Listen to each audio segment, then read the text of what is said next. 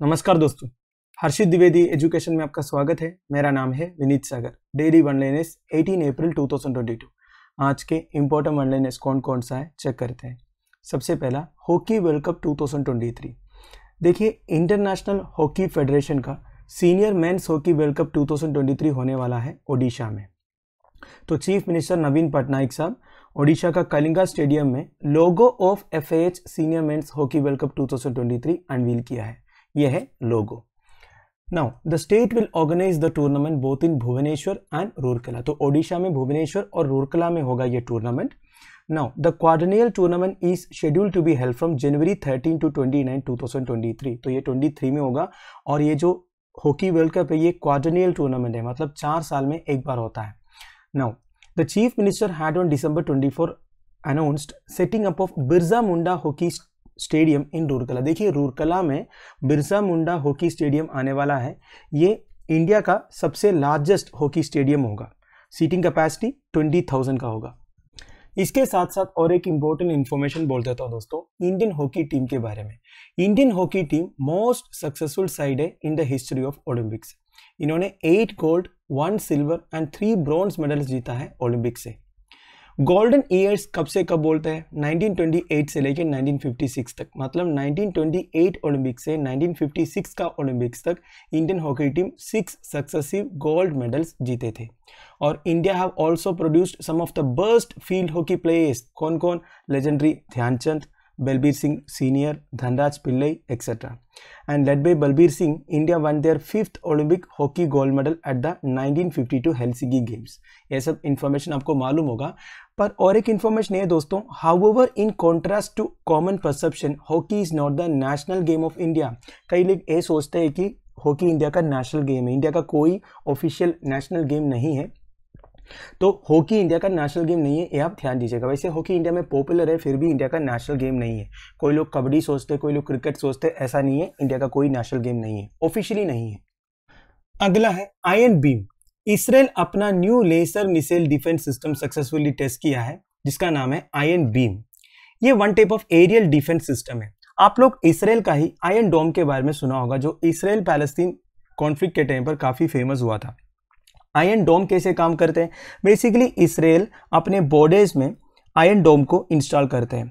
जब कोई enemy country से एरियल मिसाइल्स रॉकेट्स वगैरह फायर होता है तो आयन डोम से ऑटोमेटिकली काउंटर मिसाइल्स फायर होते हैं और हवा में ही इन इनकमिंग मिसाइल्स को ये डिस्ट्रॉय कर देते हैं। तो ऐसा आयन डोम काम करते हैं। आप आयन बीम कैसे काम करेंगे? Iron Beam basically directed energy weapon system है। आयन बीम से लेसर बीम फायर होगा। तो फिजिकली कोई वेपन्स फायर नहीं होगा, केवल लेसर बीम्स होगा। लेसर का मतलब क्या है? Light amplification by stimulated emission of radiation तो ये जो लेसर बीम है, उसका वेवलेंथ काफ़ी हाई है। हाई एनर्जी लेसर बीम है। ये जो इनकमिंग मिसाइल्स है, उन्हें डिस्ट्रॉय कर देगा। ठीक है? तो फिजिकली कोई वेपन का फायरिंग नहीं होगा, केवल लेसर शॉट से, जितने इनकमिंग यूएवी से रॉकेट से मोटार से लॉन्ग रेंज मिसाइल से एंटी टैंक मिसाइल से, इन सबको डिस्ट्रॉय करेंगे।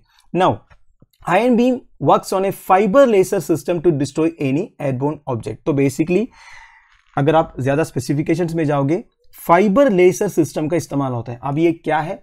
ज़्यादा टेक्निकलिटी मुझे भी नहीं मालूम है। बस आप यही समझ लीजिएगा फिजिकली कोई वेपन फायर नहीं होगा, केवल लेसर शॉट्स होगा और इसे फाइबर लेसर सिस्टम बोलते हैं। Now, Iron Dome defense system has been a great success with a 90% interception rate against incoming rocket fire. Iron Beam से पहले जो Iron Dome defense system Israel use किया था इसका 90% इंटरसेप्शन रेट है। वैसे पालस्तीन से काफ़ी सारे रॉकेट्स एंड मिसाइल्स फायर हुए थे उसमें से 90% डिस्ट्रॉय किए थे आयन डोम नाउ ये डायरेक्टेड एनर्जी वेपन का मतलब क्या होता है दोस्तों? जैसे ये आयन बीम जो है ये डायरेक्टेड एनर्जी वेपन है।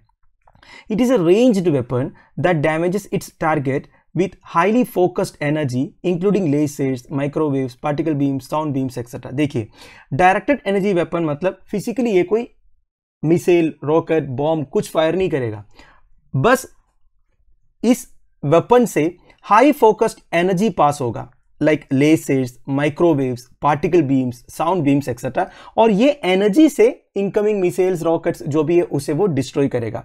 इस तरह जो वेपन सी से डायरेक्टेड एनर्जी वेपन बोलते हैं, और ये फ्यूचर होने वाला है, ठीक है? आने वाले टाइम पर यही वेपन्स मैक्सिमम कंट्रीज़ डेवलप करने वाला है। इंडिया भी रिसर्च कर रहा है डायरेक्टेड एनर्जी वेपन्स बनाने के लिए। अगला है KVIC launches Banarasi pashmina pashmina products के बारे में आपने सुना होगा, ये बेसिकली लेह लद्दाख रीजन से बिलोंग करते हैं।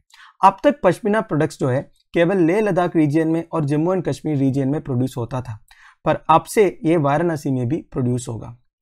तो the premium pashmina products prepared by highly skilled khadi weavers of Varanasi तो वाराणसी के जो हाई स्किल खादी वीवर्स है, यही ये पश्मीना प्रोडक्ट्स को प्रोड्यूस करेंगे।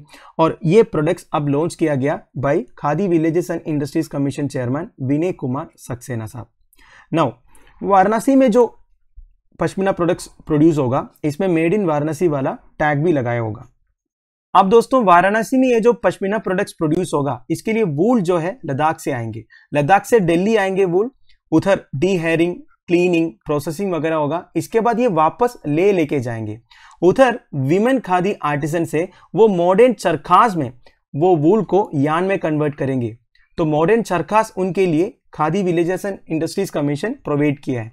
इसके बाद ये जो फिनिश्ड यान है, ये वापस वाराणसी आएँगे। वो जो फिनिश्ड यान को फिर खादी वीवेश सिला के पश्मीना प्रोडक्ट्स बनाएँगे। तो ये प्रोसेस चलेगा, ये बताया है।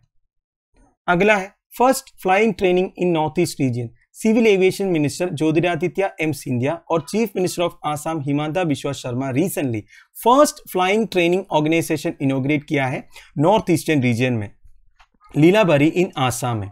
मिनिस्ट्री ऑफ़ सिविल एविएशन के हिसाब से Lilabari is amongst nine FTOs to be established in five airports in the country by the month of June 2022. तो मिनिस्ट्री ऑफ़ सिविल एविएशन का प्लान ये है, पाँच एयरपोर्ट्स में नाइन एफ़ एस्टैब्लिश करने का।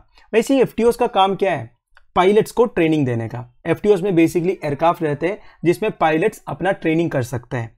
नाउ वो पाँच एयरपोर्ट कौन कौन सा है, जहाँ नाइन एफ़ आएँगे? Belagavi and Kalaburagi in Karnataka, Jalgaon in the state of Maharashtra, Khajuraho in Madhya Pradesh और Lilabari in Assam. Now with this FTOs India will aim to become a global hub for training of pilots तो pilots को train करने के लिए एक global hub बनने का plan है इंडिया का। Now, at present, लीलाबरी में रेड बेड एविएशन हाँ station two aircraft for flying training तो अभी के लिए दो एयरक्राफ्ट है पायलट ट्रेनिंग के लिए। Zero eight JC P two zero zero sixty multi engine और ये जो एयरक्राफ्ट का नंबर है ये भी इंक्रीज करेंगे आने वाले टाइम पर। अभी के हिसाब से इंडिया में जितने पायलट है वो ट्रेनिंग के लिए बाहर जाते हैं। पूरे नहीं 40 परसेंट बाहर जाते हैं। तो इसे हमारा फॉरेन एक्सचेंज में ऑब्वियसली लॉस होगा। अगर इंडिया में ही ट्रेनिंग करेंगे तो हम फॉरेन एक्सचेंज भी सेव कर सकते हैं। तो ये जो नाइन एफ़ आएँगे आने वाले टाइम पर, इससे हमारा काफ़ी फॉरेन एक्सचेंज भी सेव होगा। इंडिया में ही बेसिकली डोमेस्टिक ट्रेनिंग मिल जाएगा पायलट्स के लिए। And in order to reduce this, government has decided to open up nine new FTO by this year. ये मैंने आपको पहले ही कह दिया। जून के अंदर नाइन FTOs इनोग्रेट होगा इंडिया के अंदर। और अगला स्टेज में पंद्रह न्यू FTOs एस्टेब्लिश होगा taking the current number of FTOs in the country from 34 to 58 तो अभी के हिसाब से इंडिया में थर्टी फोर 34 FTOs है, वो 58 होगा आने वाले टाइम पर। Final news World Chagas Day देखिए, एक लाइफ थ्रेटनिंग डिसीज है, जिसे serious heart and digestive issues हो सकता है। इसका नाम है चागास डिसीज अब ये नाम कहाँ से आया? It is named after Brazilian physician Carlos Chagas जिन्होंने इस डिसीज को 1909 में डिस्कवर किया था। तो इस डिसीज के बारे में अवेयरनेस फैलाने के लिए हर साल अप्रैल 14 को वर्ल्ड चागास डे ऑब्ज़र्व करते हैं। Now the disease is also called American trypanosomiasis silent disease और साइलेंस्ड डिसीज तो अलग अलग नाम है चागास डिसीज का अमेरिकन ट्रिपानोसोमियासिस साइलेंट डिसीज और साइलेंस डिसीज और ये होता है एक पैरासाइट की वजह से, जिसका नाम है Trypanosoma cruzi and this parasite is transmitted to humans through triatomine bug अब ये जो बग है, इसका नाम है ट्रायाटोमेन बग तो ट्रायाटोमेन बग ट्रिपानोसोमा क्रूजी करके एक पैरासाइट को कैरी करते हैं। और इस बग को किसिंग बग भी बोलते हैं। And the disease usually affects impoverished people living in rural areas under poor hygiene conditions तो जहाँ poor hygiene conditions follow होता है उधर ही सबसे ज़्यादा लोगों को ये disease affect करता है like people in regions like Central America, Mexico, South America are more prone to catching the disease. World Chagas Day पहली बार ऑब्ज़र्व किया था अप्रैल 14 2020 को मतलब दो साल पहले ही World Chagas disease day observe करना शुरू किया Now, April 14 was chosen to mark the day as the first case of Chagas disease in human was reported. देखिए April 14 को क्यों चुना गया? पहली बार 1990 में Chagas disease एक human में April 14 1990 में report हुआ था। इसलिए April 14 को World Chagas disease disease day करके ऑब्ज़र्व करता है। तो दोस्तों that's end of it I hope आपको वीडियो इन्फॉर्मेटिव लगा हो। लेक्चर की पीडीएफ एज सोशल आपको टेलीग्राम चैनल में मिल जाएगा जिसका लिंक नीचे प्रोवाइडेड है। ज़्यादा लोगों के साथ इस वीडियो को शेयर कीजिएगा। Thank you for watching. Bye bye. Have a nice day.